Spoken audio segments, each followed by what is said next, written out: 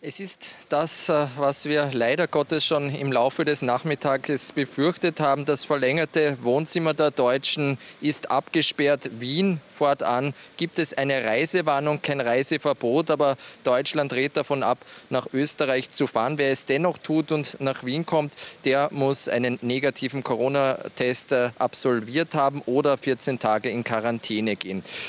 Im Laufe des Tages haben die drei wichtigen Ministerien in Deutschland, nämlich das Innen-, Außen- und Gesundheitsministerium, entschieden, jawohl, es muss zu dieser Reisewarnung kommen. Man ist damit auch äh, dem Beispiel gefolgt der Schweiz.